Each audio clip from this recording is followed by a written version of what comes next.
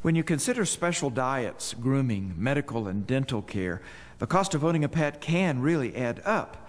Well, here are four ways to save on veterinary care and still get the very best for your best friend.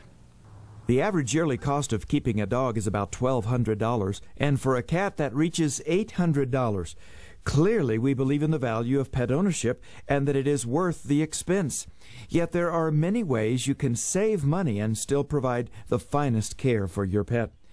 The best recommendation for saving money at the vet's office is to prevent the diseases that are often easy to prevent and costly to treat.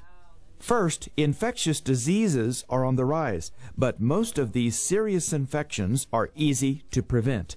The veterinarian's recommendation on vaccinations depends on many factors, such as the age and lifestyle of your pet and where you live.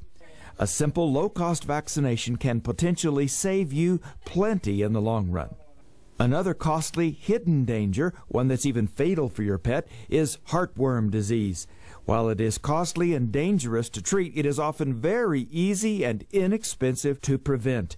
Your veterinarian can help you prevent this disease in both dogs and cats. The third area where you can save money is proper dental care.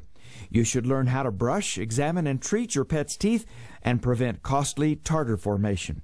This and the home use of a new barrier sealant gel can save you and your pet a lot of stress and money. Finally, stay trim and eat right. That sounds familiar, doesn't it? Well, the same applies to your pets. Quality premium foods and daily exercise are keys in the prevention of obesity and expensive secondary diseases.